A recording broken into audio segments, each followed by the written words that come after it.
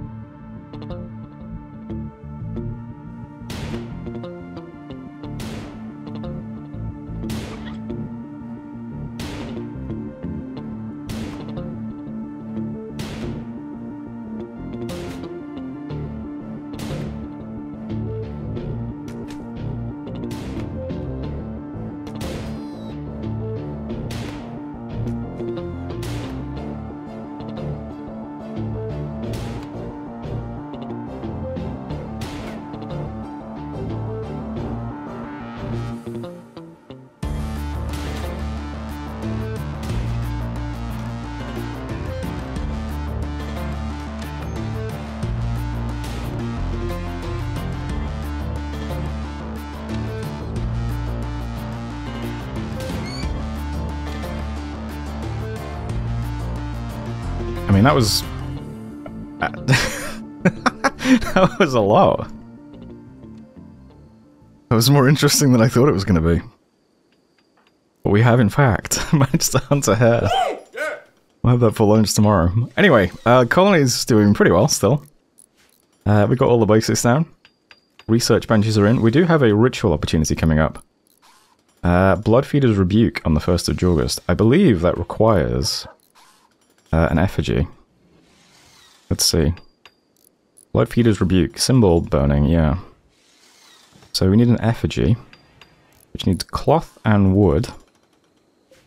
I don't believe we have any cloth yet. Let's see if we can make one out of uh, leather. No, we're going to need cloth, so it's a good job I'm growing cotton, although I'm not sure it's going to be up in time. Uh, I'll have to wait till the harvest comes in. 44% grown?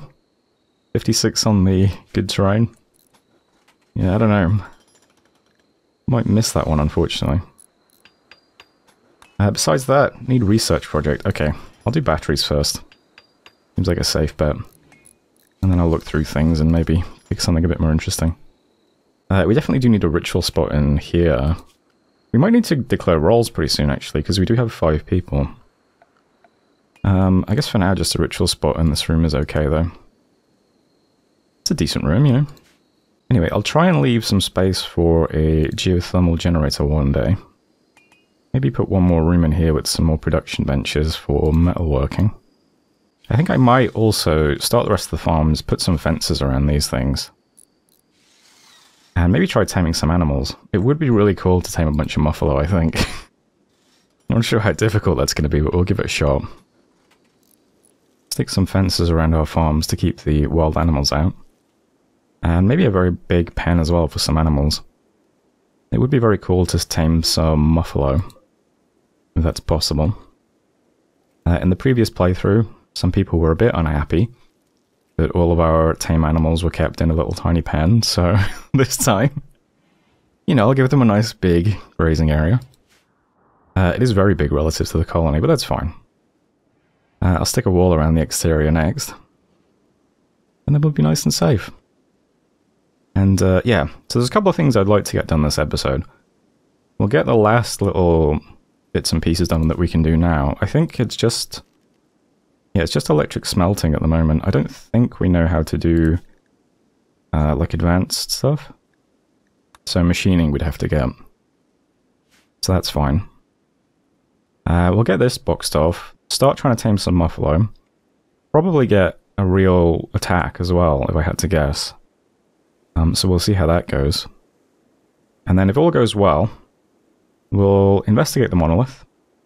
We'll investigate the Exostrider. And then I might also have Teresa and Zix try for a baby as well. Which is a setting you can adjust now. Uh, why not? I think I can even trigger these guys to try and um, flirt with each other as well. See if any of them want to fall in love. But we'll do that last. For now, get started on the battery research. Get started on the fences. Uh, maybe we'll get some cloth made in time to build an effigy for the ritual. But otherwise, I'm just going to speed up time now. And we can see what happens today. Aha, we have a war merchant from the people of Boro.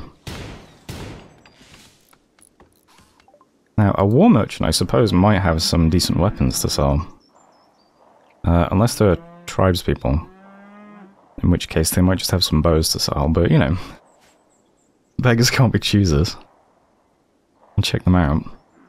Yeah, these guys don't really have anything particularly good. um, I can at least sell them the heart that we have, since they have the silver to buy it. So that's something. Uh, otherwise, though, I think we'll leave that trade there. Thanks for the silver, though. Oh wow, they left us a gift as well. That helmet looks pretty intense. Cloth ceremonial hood. Alright, I mean, thanks. a bunch of hats. I mean, I'll take them. That looks right up Dela Cruz's alley.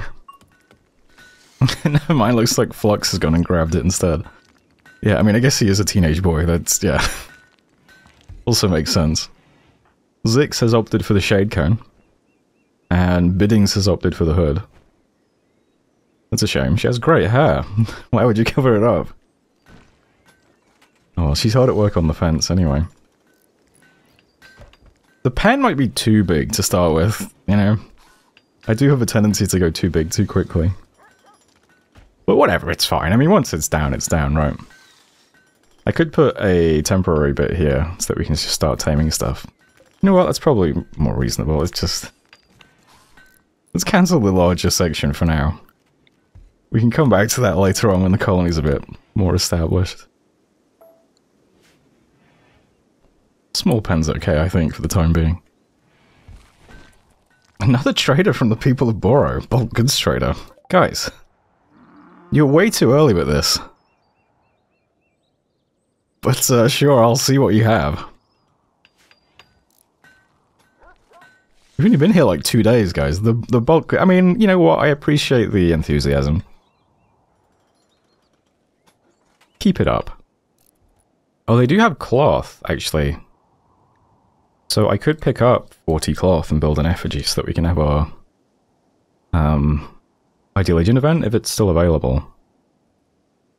That's pretty good, actually.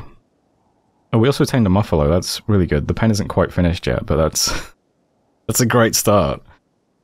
Uh, what else can we do here? I think that's everything we really need. Yeah, I think we're good otherwise. I'll leave that there. So, I'll see if I can actually get this done quickly then. I suppose it should probably go outside. I mean, I would put a burning effigy outside of it with me, but...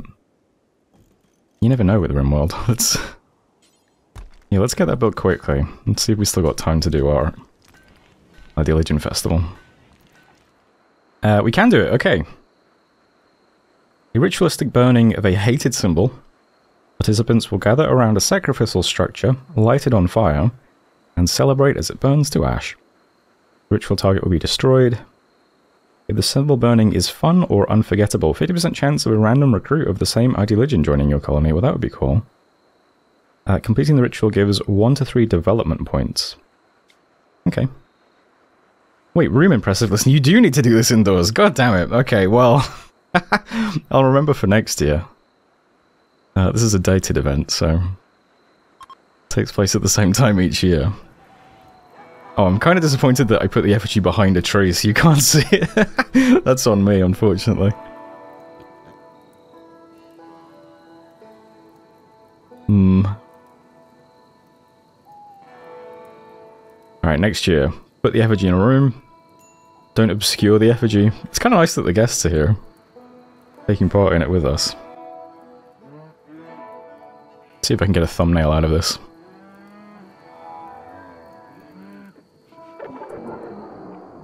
Oh, that's not the sound effect you want. uh, development points change from 0 to 1. Hey, we still got a point though. Terrible Bloodfeeder's Rebuke. Yeah. Participants endured hours of jaw-clenching small talk while waiting for it to end. Yeah. The effigy was obscured by a tree. Bunch of smelly muffalo walking around. Had to do it outside in the cold at night.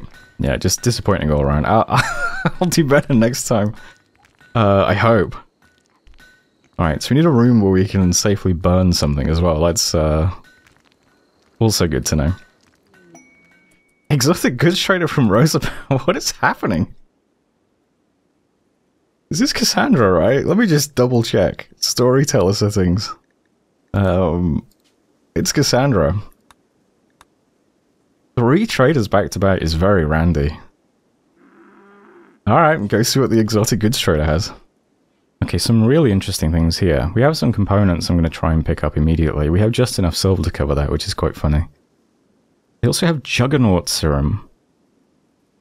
Injected into the user's musculature where it adds energy to various metabolic processes. However, also psychically influences the mind, provoking unsettling thoughts. okay, very interesting. Uh, they saw, they've also got a book, too. This book establishes the author's authority on the subject of crop management. The author claims in her digest that fraudulent copies of this book exist, but that this is not one. okay. Alright, I mean, sure, I'll buy a book. I don't see why not. We've got still got a little bit of gold we can trade with, so I'll, I'll try and uh, see if we can cover this. Oh, not quite. Alright, we'll just get nine components instead of ten. That's really interesting. A book. I guess I'm going to need a library as well. Or do we at least... can you do bookshelves? I didn't notice bookshelves. You can do bookshelves. Oh, okay. Well then. Makes sense to me we'd put the bookshelves by the research bench. Uh, cougar hunting Zix. Okay.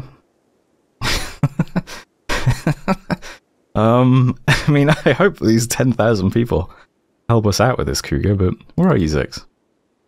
Uh, okay. Let's see, Zix, run over here away from the cougar if you wouldn't mind. Our accuracy is not great. ah, they are elfing us though, okay. it's a bit overkill, but you know. Not taking any chances. Oh, and a wedding took place as well. Alright, that happened much sooner than I thought. They have not designated a marriage spot. It looks like they found a nice little place themselves there out in nature. Fair enough. Looking great, Flux. wonder if this has been changed at all in the romance mods. Zix and Flux shared a word about breakfast. Right, if there's one thing I've figured out about Zix so far, it's that he loves breakfast. Wouldn't miss it for the world. Zix said a word about salty foods. Yeah, the man is obsessed with food.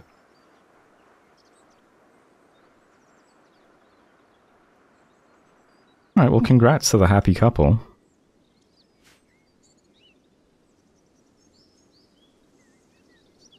Yeah, I'm sorry I don't have a, you know, nice temple or something, but so as a wedding out in nature is still pretty nice, right?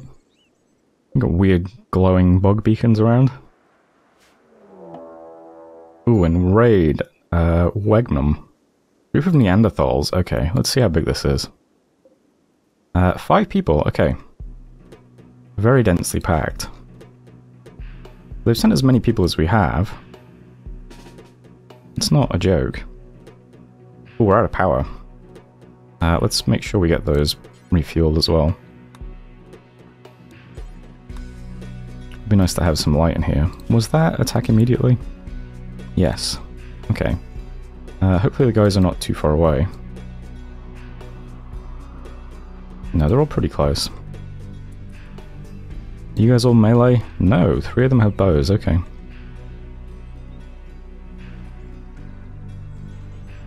Still, I think we'll be okay. We've got lots of traps.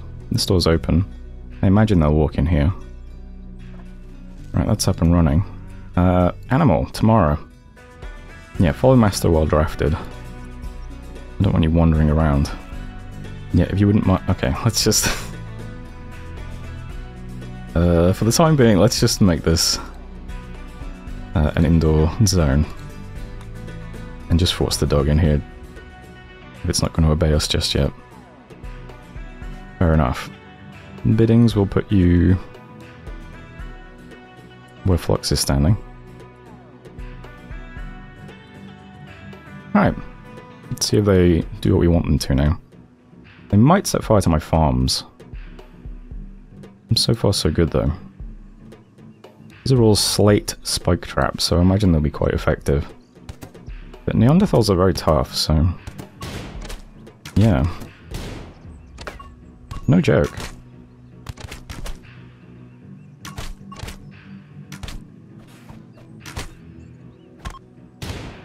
Alright, decent. Definitely want to get those um, traps rebuilt quickly, though. Fact, let me just make sure everyone is on attack so that I can undraft you. You can take care of that. Now, question was asked, what do we do with people we down if we're not going to recruit prisoners? Um, I don't even have a prison built, but we could take prisoners and just uh, heal them up and send them on their way. Might give us some faction relations. Uh, probably don't have time to quickly set up a prison right now, though. Before this guy bleeds out. And I don't want to just patch him up on the ground, because I think he'll attack us. So...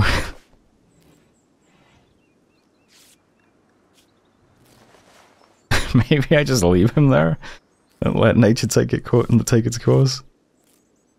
Uh, it might be a good idea to build a little prison somewhere though when this happens in future.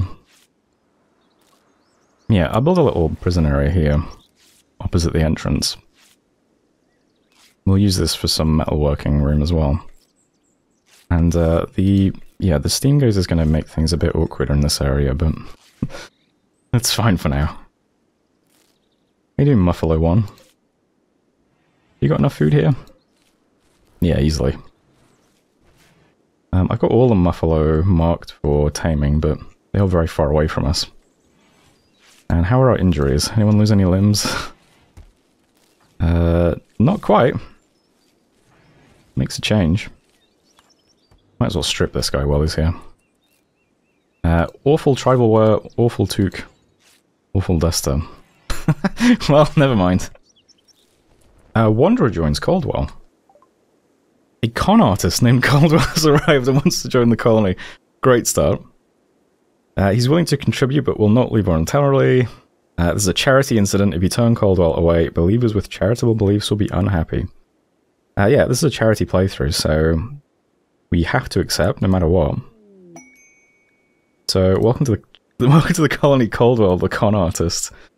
Uh, I'm sure you're going to fit right in. Uh, childhood organ form, okay. Adulthood con artist.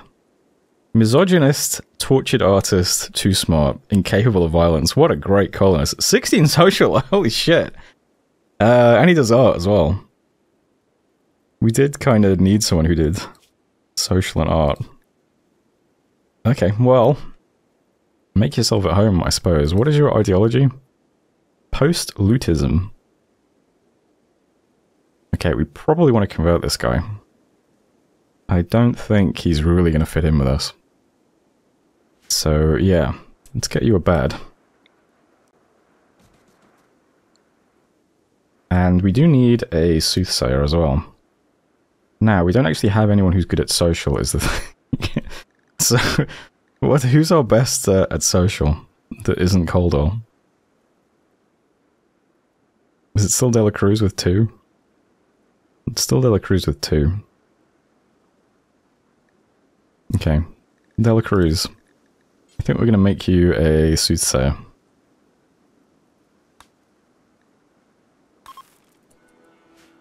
Hope that works out well for us.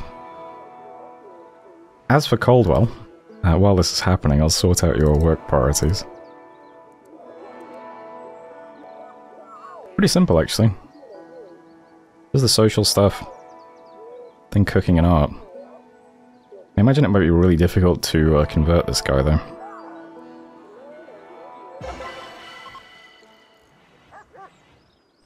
Uh, successful role change, fantastic. Dela Cruz.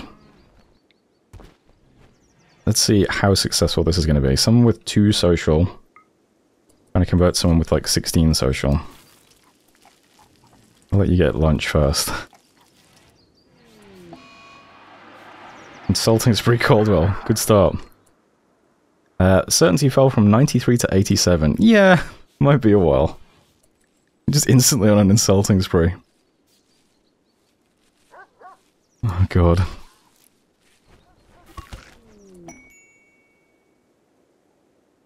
Uh, Delacruz and Caldwell are social fighting. Caldwell flagrantly insulted Delacruz's friends. This drove Delacruz into a rage and she began to fight. Yeah. Sounds about right. Caldwell does now have inspired creativity. I'll get the art bench set up in this little room with the metalworking stuff, which is a bit odd, but didn't really want to stick it here because it feels a bit too cramped. Oof. Another raid. Dropped right on top of you. Well, that is really shocking. Um, oh hey, I noticed Caldwell, you have automatically picked up a bow even though you're incapable of violence. Uh, I guess that's because of the weapons tab thing. Yeah, we'll get rid of that. Where are these guys dropping in? That's a bit concerning.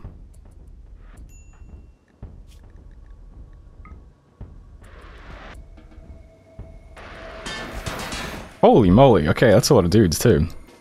Wait, did it land on Flux? Is that what just happened? Uh, cut left ear. The ceiling fell on Flux, bashing his left ear. Fantastic. Uh, okay, none of these straps got rebuilt. Not yet, anyway. I imagine these guys are gonna have guns because they're dropping in from space. Sounds kind of advanced. Let's see. So yeah, the animal can attack as well.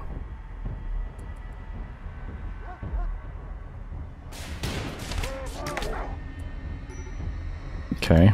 How injured did you just get? A little bit injured. Oh, there's a guy here as well. I didn't even see that one. That's rough. Okay, one down. Let's try and focus fire these guys down to take care of them quickly. Sorry, Zix, you're gonna have to handle this dude. Are you any good at melee? Oh yeah. In fact, he's got a bloodlust. and Zix is down.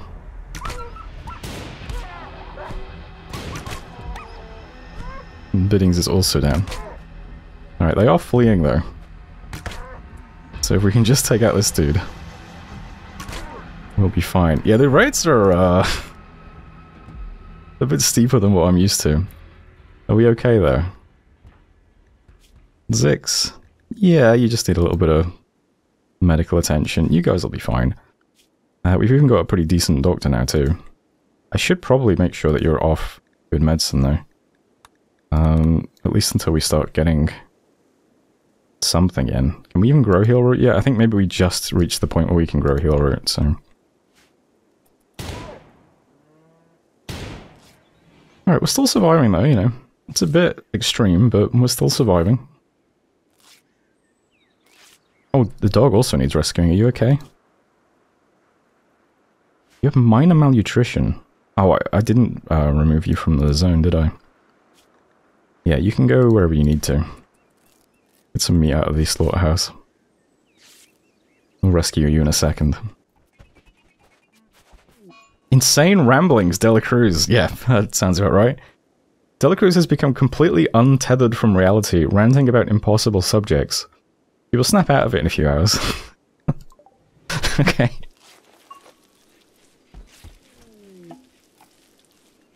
And we have some visitors.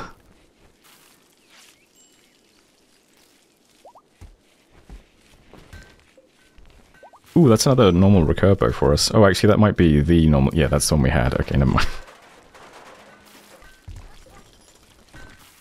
I'll try and trade away these, uh... Primitive weapons to these guys. Looks good.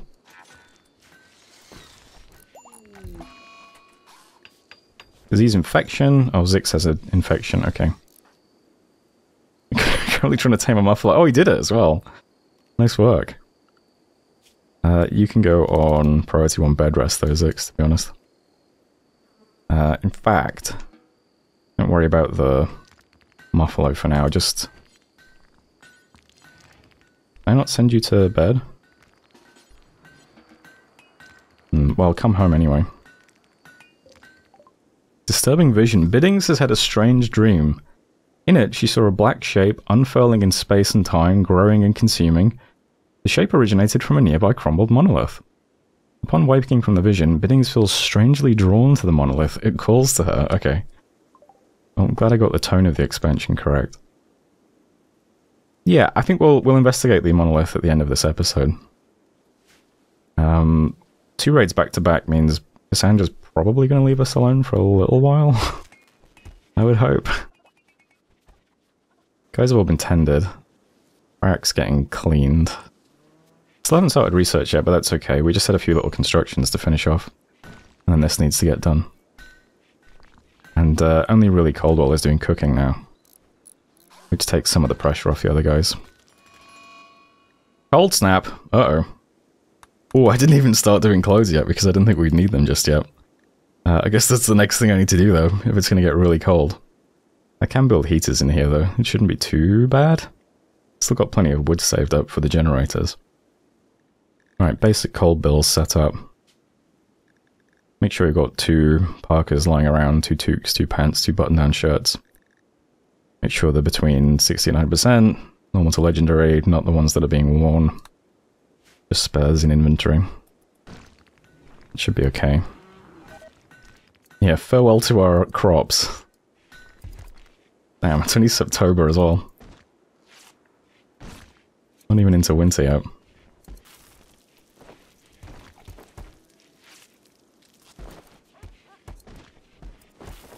Freezer's quite well stuffed though.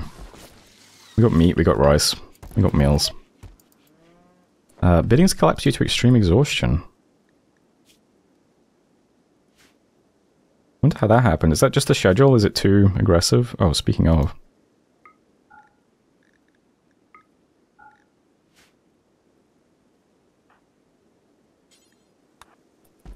Suppose the raid didn't help. And quest a little busted ship. Another charity event, okay. Some recon armor would be pretty cool. Well, that's interesting. We get development points because we are charitable. Or maybe it's just because it's a quest and you just get points for quest. Um, so let's see. So Itakin will attack. Uh, the shuttle contains Voskos, another civilian, and three cataphracts. That doesn't seem too bad. So a masterwork recurve bow or some recon armor. A good weapon would be nice, but some good armor would also be nice. Could stick that on Biddings, help her out. She's going to frontline for us. We are not in a great state though. It's also about to be night. We've got 12 hours to take this. Okay, I was planning on triggering the monolith and this thing at the end of the episode, though. I think maybe I'll just... I'll leave the episode here while the guys finish off the day and go to bed. And tomorrow we'll start with the Busted Ship quest, and if this quest goes well with no injuries, we'll just immediately start doing the Monolith. Think that's fine. Uh, as it is, though, you know, things are okay. I'm a little bit shaky, but we've got the basics. We even managed to tame one Muffalo, so I don't feel too bad about it. Shame to lose all the crops. Uh, anyway, uh, yeah, I'll leave the episode there, so thanks as always for watching. Hope you're still enjoying it. And hopefully I will see you in the next one.